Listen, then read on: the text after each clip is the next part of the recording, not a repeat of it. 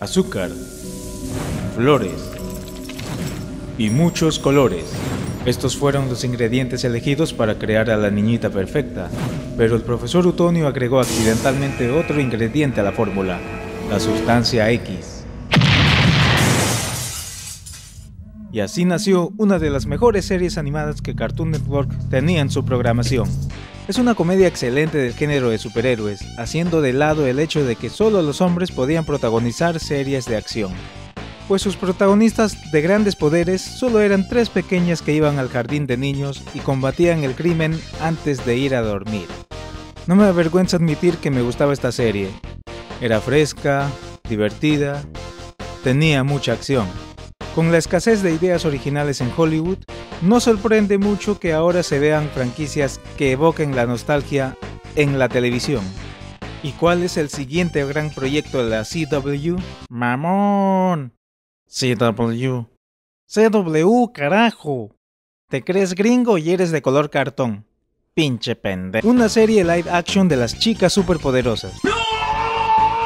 Y es que esta idea lleva gestándose desde agosto del 2020 las encargadas de escribir el guion del piloto serán Diablo Cody, guionista de Juno y Diabólica Tentación, y Heather Recknier, guionista de Veronica Mars y Sleepy Hollow. Según la noticia, la serie nos mostrará a unas chicas desilusionadas de veintitantos, resentidas de haber perdido su infancia tras años de pelear contra el crimen. Pero un evento hará que se junten nuevamente para combatir una vez más. Así es, damas y caballeros, tendremos una serie donde Trombón, Maruja y Pelota están deprimidas. ¡No! No hace falta decir que... Tengo miedo, tengo miedo, tengo miedo, tengo miedo. Pero aunque suene contradictorio, me parece una idea interesante. ¿Qué? ¿Qué? ¿Qué? ¿Cómo? Digo, es como esa pregunta que a veces no te deja dormir. ¿Qué tal si... En este caso, ¿qué tal si pudiéramos ver la vida de las chicas superpoderosas ya crecidas? ¿Qué tal si todas las batallas que libraron tuvieran consecuencias psicológicas? Como dije, la idea es interesante, al menos en papel. Otra cosa será ver cómo la ejecutan. Además, el morbo de ver una franquicia nostálgica que antes fue colorida y transformarla en algo oscuro, vende. Funcionó con Archie. Hasta donde sé, el live action será una continuación de la serie de 1998.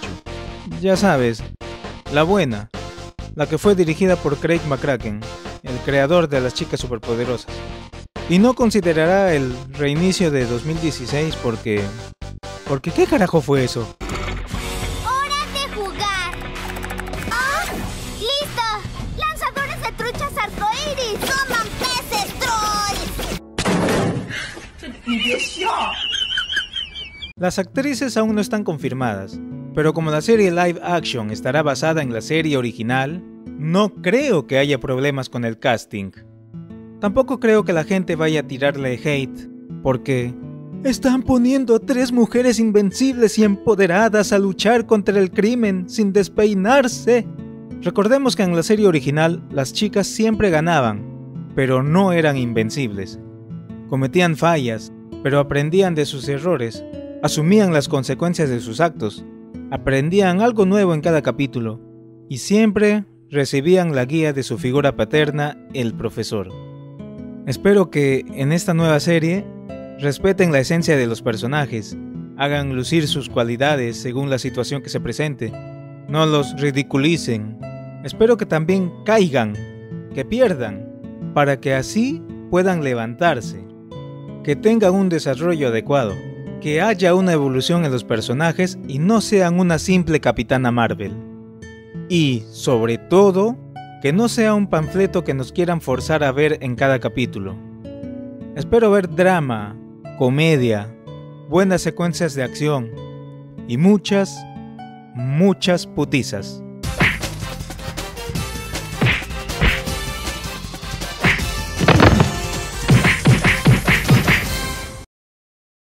Esto ha sido todo. No olvides dejar tu like, suscribirte y compartir este video. Se despide tu amigo Dark Brewster. Y... pásala bien.